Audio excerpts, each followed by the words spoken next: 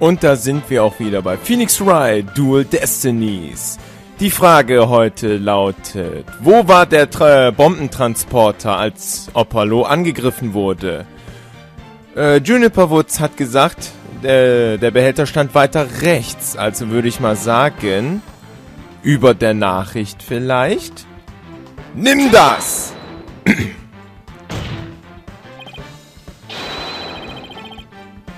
Euer Ehren, ich behaupte, dass der Transportbehälter zum Zeitpunkt des Angriffes dort war. Aber das...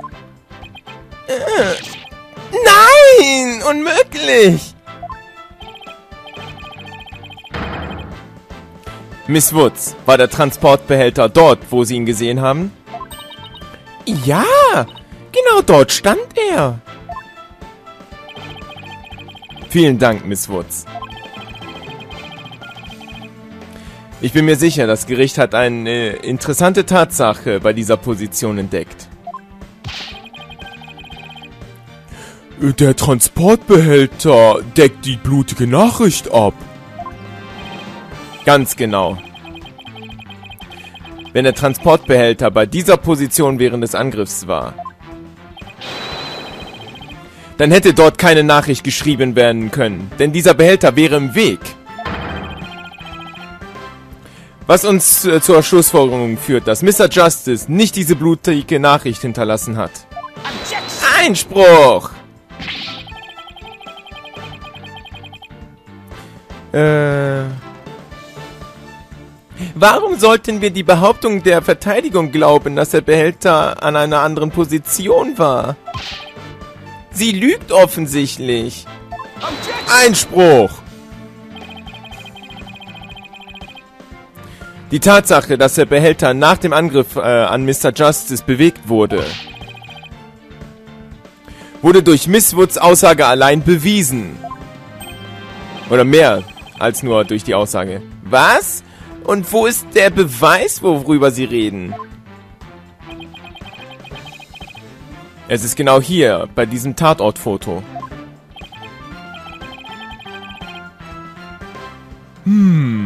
Ich bin neugierig, diesen Beweis selbst zu sehen, Mr. Wright. Was auf dem Foto zeigt, dass der Behälter bewegt wurde. Ah, ich sehe es. Jetzt, wo man genau darauf schauen muss, sieht man es. Man sieht hier diese Spuren. Und zwar nach dem Angriff. Also es hätte ja auch währenddessen hier bewegt werden können. Aber nach dem Angriff. Der Verband wurde überrollt. das ist genial. Nimm das! Schauen Sie sich bitte die Spuren auf Mr. Justice Verband an. Ich sehe es. Aber was ist das?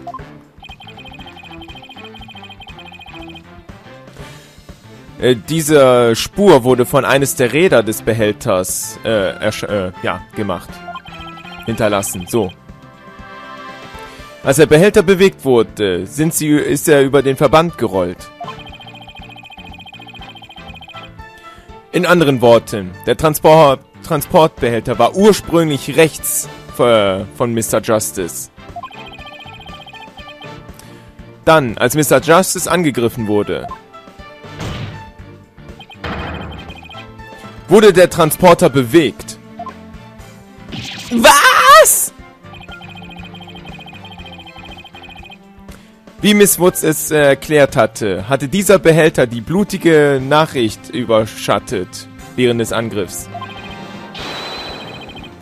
Deswegen war es unmöglich, dass Mr. Justice eine blutige Nachricht hinterlassen konnte. Nein!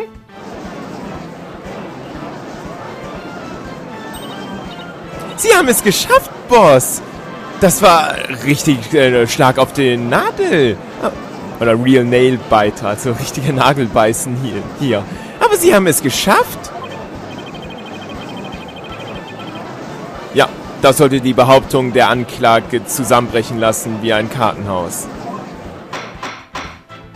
Ruhe! Ruhe im Gericht!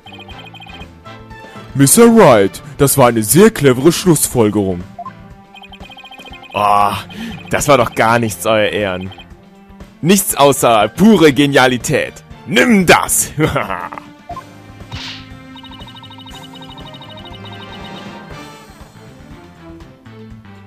hm, Boss, ich spüre eine gewisse Überheblichkeit von Ihnen.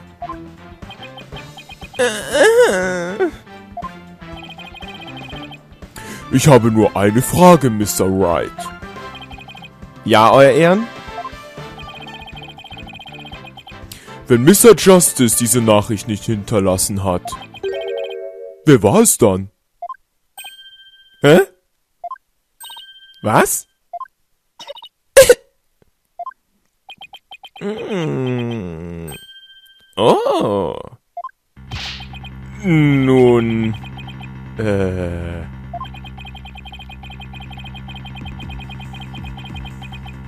Vielleicht hätte ich diesen Zug der Gedanken bis zur letzten Station nehmen sollen. Nun, nun, nun. Ich habe genug davon gehört. Das ist also Mr. Wrights berühmte Blufftechnik, hä? Oh, dieses Gefühl. Es bringt alte Erinnerungen zurück. Damals, als sie sich äh, durch dick und dünn geblufft haben. Gee, Mr. Wright.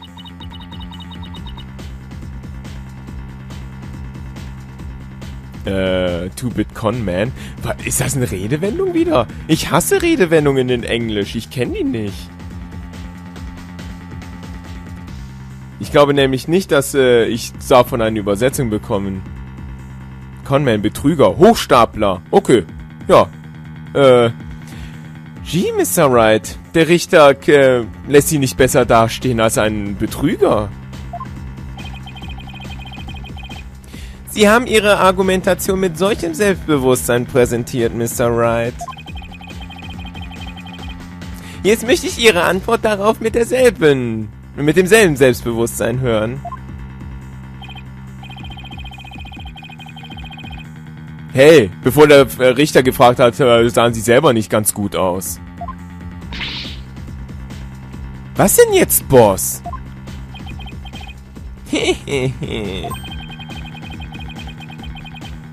Ich hoffe doch, dass sie sich nicht in eine Ecke geblufft haben.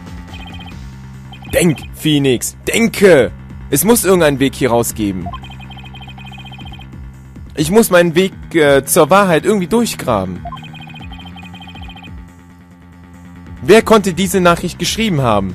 Apollo? Ja, klar.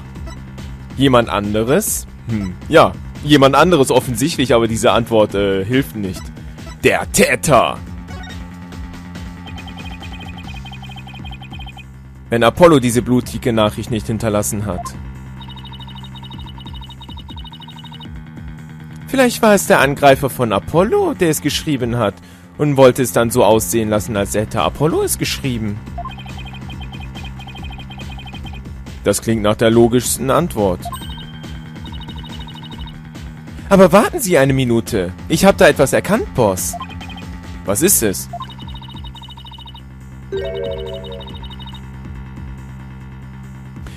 Schauen Sie sich äh, die Menge des Blutes an. Es sieht so aus, als hätte Apollo nicht sehr viel geblutet.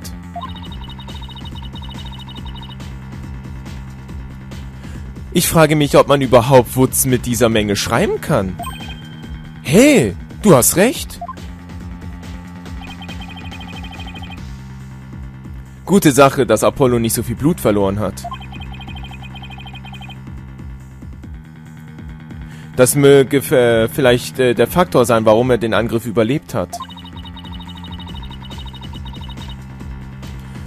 Und da er so wenig Blut verloren hat, äh, schließt das den Angreifer aus, hä?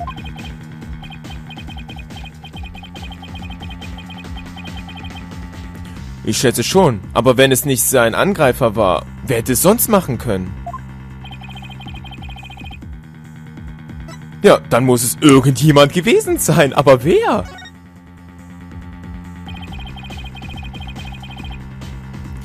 Wenn es nicht Apollo war, wer hätte die blutige Nachricht hinterlassen können? Boah, Alter, woher soll ich das denn bitte schön wissen? Also warum sollte Woods das selber machen? Athena war es auch nicht. Payne war es auch nicht. Wir wissen, dieses Arschloch ist der Haupttäter. Aber wie hätte er... Ist das Grund dafür? Und warum sollte sie es geschrieben haben? Das ist die große Frage.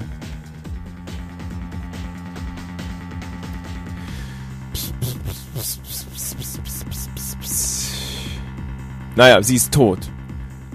Ja, sie ist tot. Von daher, es muss Tonate gewesen sein. Eine andere Schlussfolgerung gibt es nicht. Nimm das! Diese Person hat die blutige Nachricht hinterlassen? Und worauf berufen Sie sich bei dieser Behauptung? Äh, muss ich meine Behauptung begründen? Boss? Natürlich müssen Sie das. Jetzt sagen Sie mir nicht, dass Sie keine äh, Basis für Ihre Behauptung haben. Äh, nicht wirklich. das tut es nicht, Mr. Wright. Au! Manno! Wie soll ich denn diese Frage beantworten?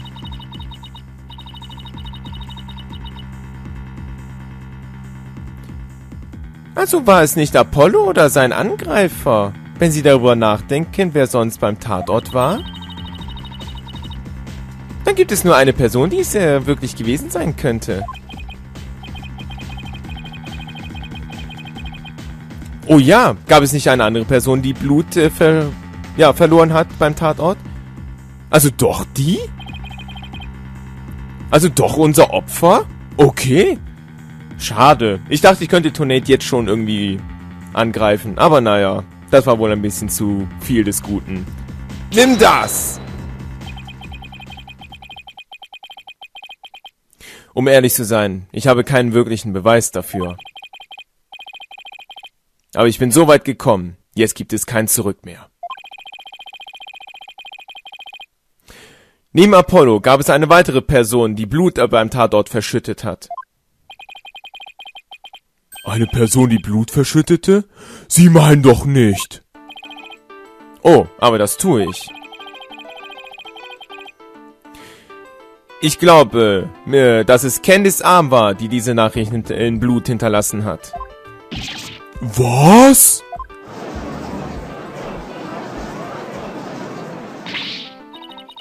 Was? Inspektorin Arm? Sind Sie sicher, was Sie hier tun? Ähm, nicht wirklich? Einspruch! Was für eine lächerliche Behauptung ist das?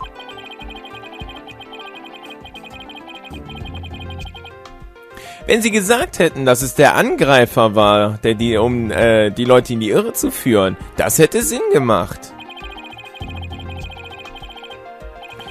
Auf dem ersten Blick wäre das die logischste Erklärung, jedoch... Apollo hat nicht genug Blut verloren, um diese Nachricht zu hinterlassen. Oh oh! Ah, ich verstehe. Selbst das Foto macht es ganz klar, dass es nicht genug Blut gab, um diese Nachricht zu, schrie, äh, zu schreiben. Und Mr. Justice hat es überlebt. Ich denke, er hat nicht sehr viel geblutet in diesem Fall. Aber warum sollte Inspektorin Arm den Namen der Angeklagten schreiben? Es gibt keine Verbindung zwischen den beiden. Und ich kannte überhaupt nicht die Frau, die getötet wurde. Ich gebe zu, dass die Untersuchung keine Verbindung zwischen Opfer und Angeklagte feststellen konnte. Sie haben sich nicht einmal davor getroffen. Das ist sowas von wahr. Nun denn, lassen wir uns mal schauen.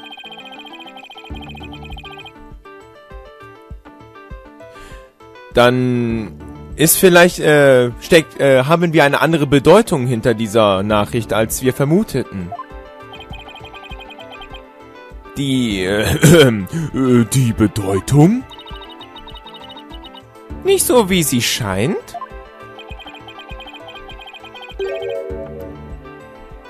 Vielleicht äh, steckt hinter der ha äh, Nachricht nicht das Wort Wutz.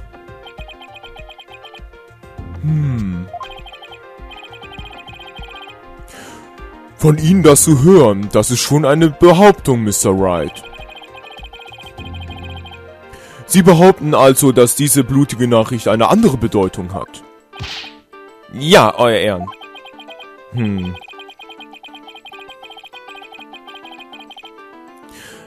Was ich aus so einem Wurmloch gezogen habe, könnte die Wahrheit sein, nicht wahr? Ah, bäh. Jetzt wollte ich Objection rufen. Einspruch. Hm, es sagt ganz eindeutig Wutz. Jeder kann es sehen. Was für eine andere Bedeutung soll es denn haben? Einspruch.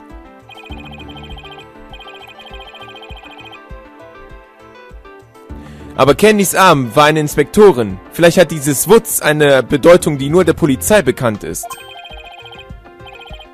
Vielleicht ein Polizeiscanner-Code oder sowas. Hm. Darüber habe ich nicht nachgedacht. sie haben vielleicht euer Ehren ausgetrickst, aber mich kriegen sie nicht so leicht.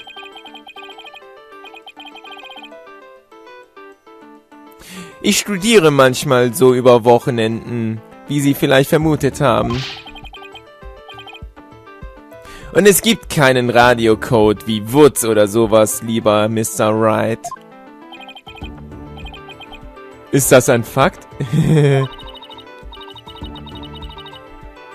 Schauen Sie mich nicht an. Ich weiß genauso viel über Polizeicodes wie Sie.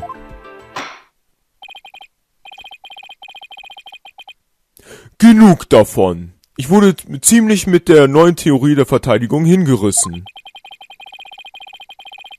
Aber wenn Sie es nicht äh, unterstützen können mit etwas, dann fürchte ich, muss ich das hier beenden. Nein, bitte warten Sie, Euer Ehren.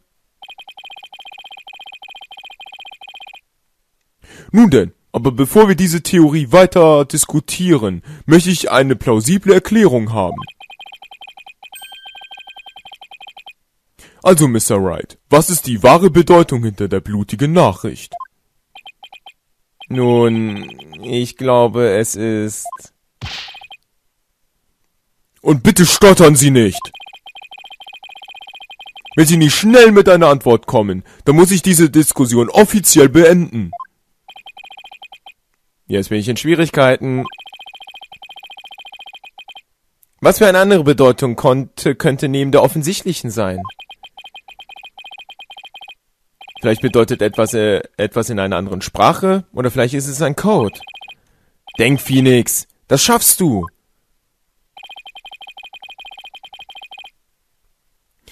Welches Beweisstück wird uns zeigen, was das Wort Wutz wirklich bedeutet?